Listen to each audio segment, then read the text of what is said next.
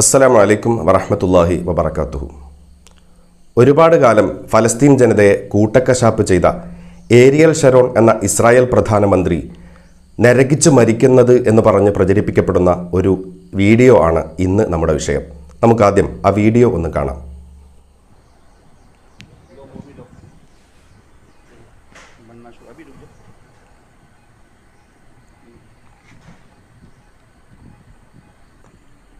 ആശുപത്രി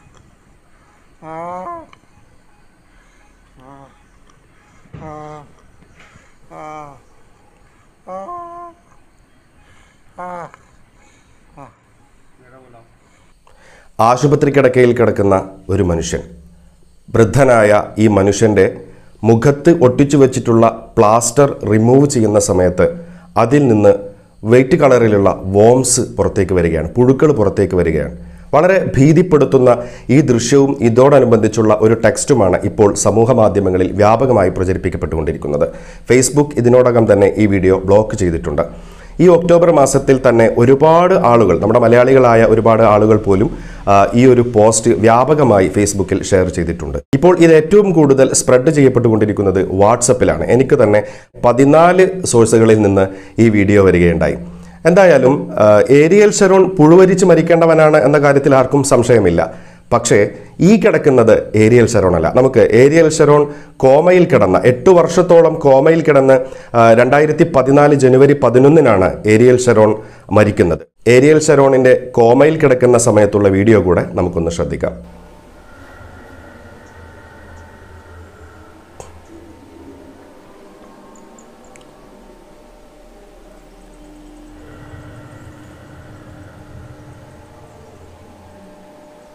ഇങ്ങനെ ഈ ഒരു അവസ്ഥയിൽ എട്ട് വർഷത്തോളം ശരീരം ഒന്ന് ചലിപ്പിക്കാൻ കഴിയാതെ ഒരു പക്ഷേ അദ്ദേഹത്തിന് പുറത്തുള്ള കാര്യങ്ങളൊക്കെ അറിയുന്നുണ്ടായിരിക്കാം അല്ലെങ്കിൽ അദ്ദേഹത്തിന്റെ പാതി തുറന്നു പിടിച്ച ആ കണ്ണിലൂടെ കാഴ്ചകളൊക്കെ കാണുന്നുണ്ടായിരിക്കാം.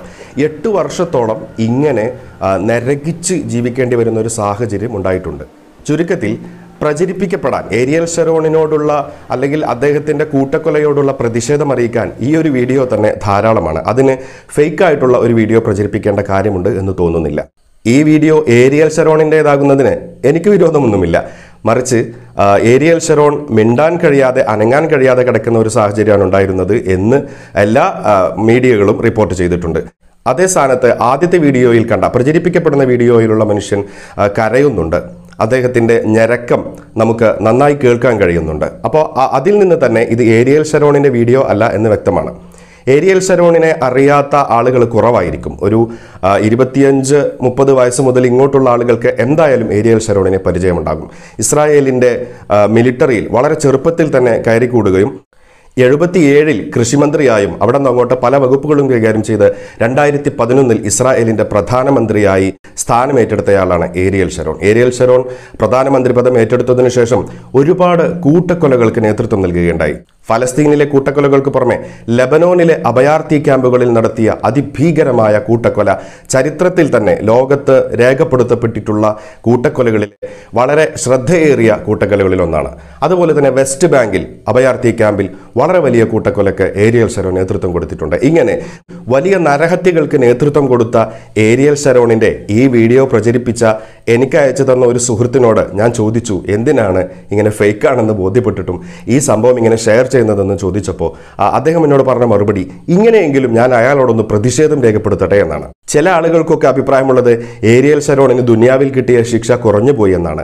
അത് കൊടുക്കേണ്ട സമയത്ത് ഇത് കുറഞ്ഞു പോയി എന്ന് തോന്നുന്നുണ്ടെങ്കിൽ അത് കൊടുക്കേണ്ട സമയത്ത് കൊടുക്കേണ്ടവൻ കൊടുത്തുകൊള്ളും. വ്യാജമായ വാർത്തകൾക്ക് പുറകെ പോകരുത് എന്ന് മാത്രം ഓർമ്മപ്പെടുത്തുന്നു. വീണ്ടും കാണാം. അസ്സാം വലൈക്കും വറഹമത്തല്ലാഹി വബർക്കാത്തു